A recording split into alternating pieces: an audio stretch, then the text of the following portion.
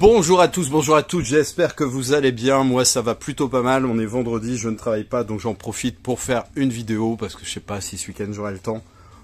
Donc c'était l'occasion, comme on dit l'occasion fait de la ronde, on va commencer tout de suite, alors il y aura une dizaine de steelbooks et un seul à marrer. Euh, essentiellement des films euh, d'horreur, d'épouvante, euh, voilà, des films comme, comme on aime parfois, mais pas toujours. On commence tout de suite avec la présentation de ce steelbook donc le film, attention au reflet parce que il pleuvait à fond, il fait pas très clair, donc été obligé d'ouvrir euh, les volets de Velux en grand, donc j'espère que ça ira. Euh, donc The Witch, un film de 2015 réalisé par l'excellent Robert Eggers, qui a commencé en fait par ce film hein, euh, en 2015, donc comme je vous l'ai dit, et ensuite il y a eu The Lighthouse en 2019 avec Robert Pattinson, hein, très surprenant d'ailleurs, et Willem Dafoe. Et là, tout le monde attend le troisième opus, hein, euh, The Northman. Euh, en trois films, en fait, il est devenu vraiment euh, la coqueluche du tout Hollywood et vraiment, c'est un réalisateur très très doué. Donc, dans The Witch, il y a une jeune femme que j'aime beaucoup, hein, celle qui joue dans le jeu de la dame, hein, la série sur Netflix. Je l'avais plus ou moins découvert là-dedans, même si j'avais vu The Witch avant, mais elle m'avait pas marqué plus que ça. Mais bon, la prestation dans le jeu de la dame, géniale. Dans le secret des Marobonnes, pareil, elle est vraiment exceptionnelle. Donc c'est une actrice que j'aime beaucoup et elle joue aussi dans The Northman. Elle joue dans The Witch et The Northman. Revenons à nos moutons. Donc The Witch, ça se passe en 1630. Hein. C'est une, famille, euh, on va dire pieuse, euh, très pratiquante, avec ses cinq enfants qui vit euh, en bordure de ville, à la limite, on va dire, de la civilisation un peu reclus, euh, voilà, ils cultivent leur terre. Euh. Mais un jour, il va se passer un truc de ouf, euh, c'est que le nouveau-né, hein, le tout dernier de la famille, va être enlevé et les récoltes vont commencer à pourrir. Waouh Donc je vous laisse imaginer, vu le titre, The Witch, si vous voulez traduire, vous allez comprendre de, quoi il peut éventuellement s'agir. donc moi j'ai adoré. Hein. Euh, c'est un film que j'ai regardé en famille, donc euh, avec des sensibilités très différentes. On était quatre et on est quatre à avoir aimé. Franchement, très très bon film The Witch. Steelbook très sympa, euh, glossy. Édition Zavi, bon il est sous protection, je je l'ai pas enlevé. Enfin je vous l'enlève pas. J'ai la flemme, j'ai qu'une main surtout. voilà. Ensuite, pareil, très beau steelbook, très sympa.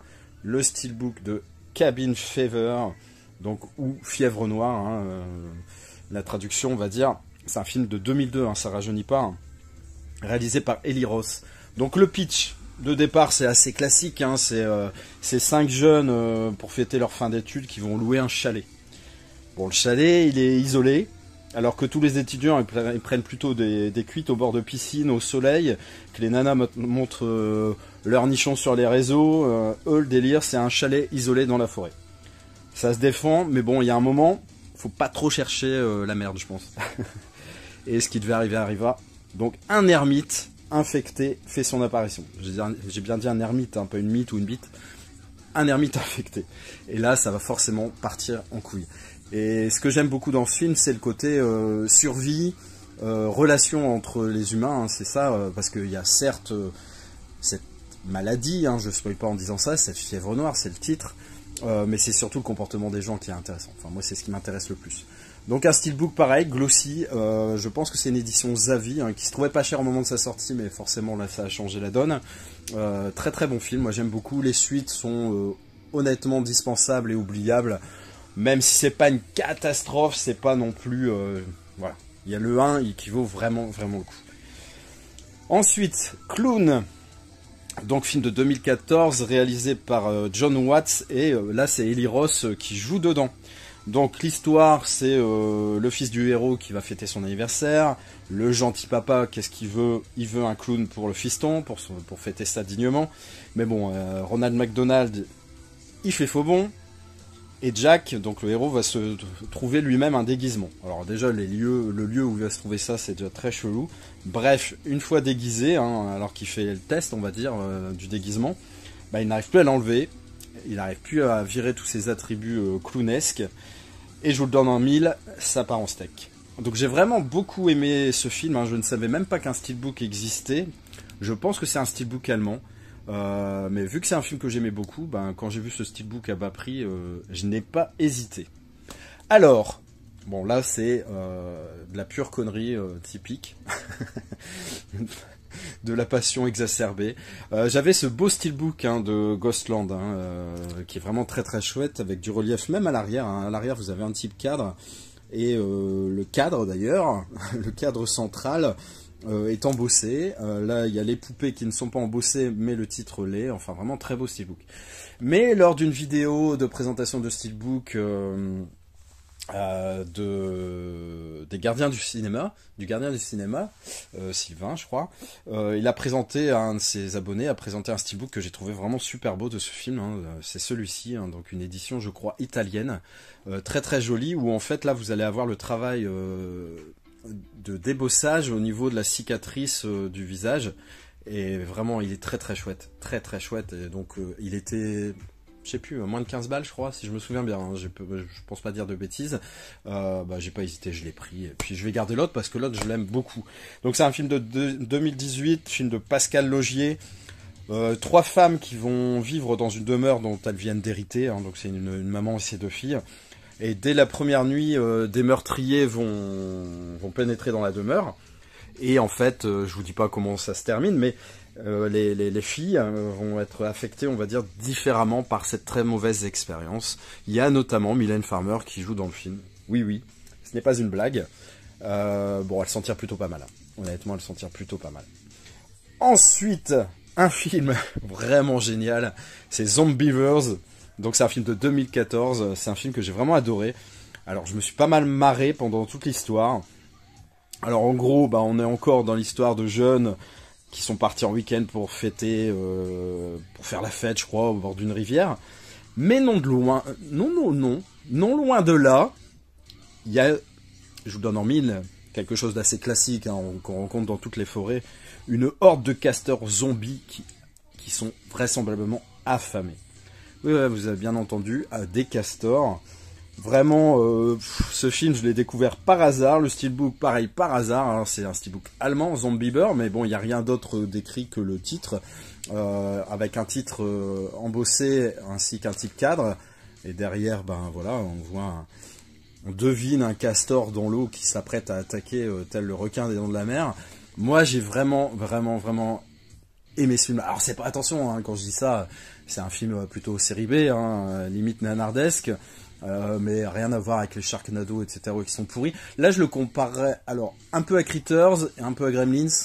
Euh, je dirais au-dessus de Critters et moins bien que Gremlins.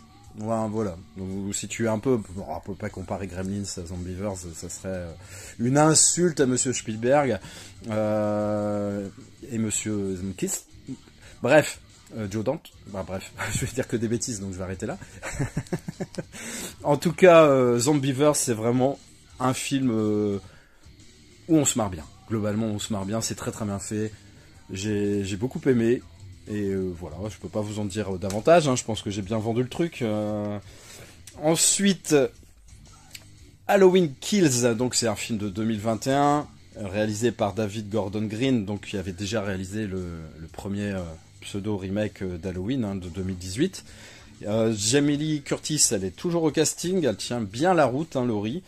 Et celui-ci, je ne l'ai pas vu, mais je suis vraiment très très content de le posséder. Bon, vous imaginez que Michael Myers a la peau dure, on pensait en avoir fini avec lui, une fois pour toutes, mais, mais, mais, mais, mais, mais, mais, mais, mais. Ensuite, un film qui a été présenté par, par d'autres personnes euh, avant moi, Ghostbusters Afterlife, film de 2021 réalisé par Jason Reitman. On va y retrouver notamment euh, deux des anciens Ghostbusters, chasseurs de fantômes, ectoplasmes et autres entités possédées. Donc euh, Dana Croyd et Bill Murray, je crois, qui apparaissent dedans. Alors au départ, euh, j'étais un peu sceptique. J'avoue que j'aime pas trop quand on touche à nos films iconiques. Mais avec un peu de recul, qu'y a-t-il de mal avec la nostalgie si c'est bien fait? Donc c'est ce que j'espère en fait. Avoir ce côté nostalgique, bien fait, dans un nouveau film. En gros, euh, la bande-annonce, je vous cacherai pas qu'elle m'a donné super envie, j'étais très pressé de le voir. Donc j'espère que tout se passera bien, comme j'idéalise, on va dire. Euh, mais bon, moi je suis assez... Euh, assez simple. Hein. Moi, tu me donnes euh, le thème de Ghostbusters, une belle image 4K avec une belle piste sonore, des ectoplasmes en haut en couleur, et c'est l'autoroute du kiff. Hein. Donc, on va voir si cette voiture prend l'autoroute du kiff. Cette Ecto One. Ensuite, là c'était assez sympa hein, ce que nous a fait euh, cet éditeur.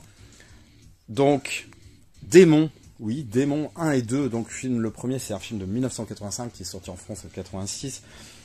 L'histoire, c'est plusieurs personnes qui sont invitées dans un nouveau cinéma, je crois. Et comme dans le film, les spectateurs ils vont se transformer euh, un à un en démons. Il va y avoir quelques survivants, des non transformés, qui vont devoir lutter pour leur survie. Donc c'est une affiche quand même assez emblématique hein, euh, de l'époque Vidéoclub, je m'en souviens très bien. Je devais avoir 12-13 ans. Et euh, j'ai jamais osé le louer à l'époque. Réalisé par Lamberto Bava et produit par Dario Argento, rien que ça. Et en 1986, il y aura la suite qui a reçu un accueil beaucoup moins chaleureux et qui paraît... Et moi, bon, j'ai pas vu le 2 du tout, et le premier, pardon, je l'ai vu, mais il y, a, quand même assez longtemps. Donc une édition sympa qui, qui regroupe les deux films Là, j'ai pris avec les deux 4K.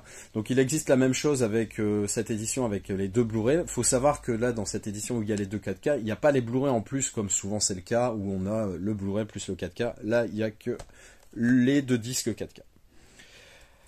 Vampire Hunter, soit ou Abraham Lincoln, chasseur de vampires, c'est un film de 2012.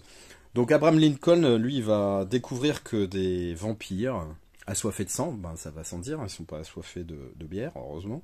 Ça serait pas des vampires, ça serait des ch'tis. Je plaisante. Euh, donc les vampires s'apprêtent à envahir le, le, pays, et donc il va jurer de les éliminer euh, les uns après les autres à coups de hache. Donc c'est un film vraiment sans prise de tête, hein, qui, a du mordant, qui est rythmé, qui est assez jouissif. Il existe deux steelbooks hein, avec euh, du relief. Les deux étaient dispo, mais j'ai préféré ce visuel, j'ai opté pour celui-ci.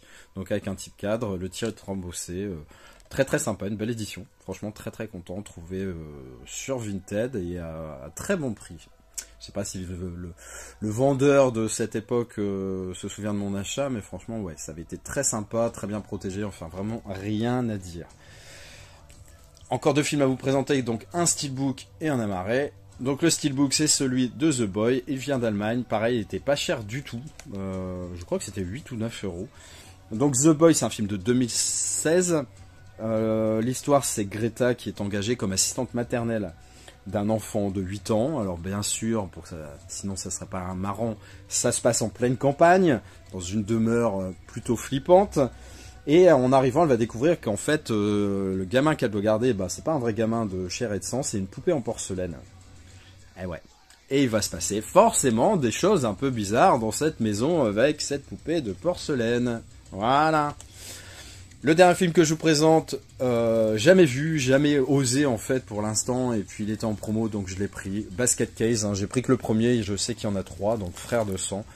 Mon frère Siamois est petit, laid et méchant, il vivait dans un panier aujourd'hui, il vient de sortir. Donc euh, j'ai vu des images, j'avoue, j'ai un peu peur. J'ai un peu peur.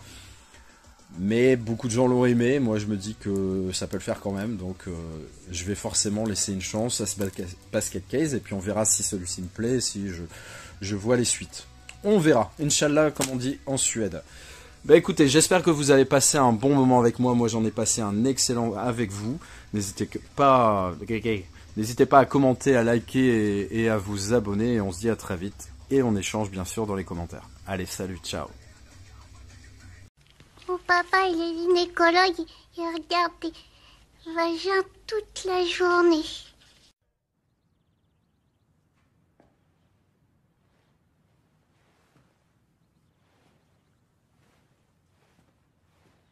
T'es toujours là, toi? C'est fini. Rentre chez toi.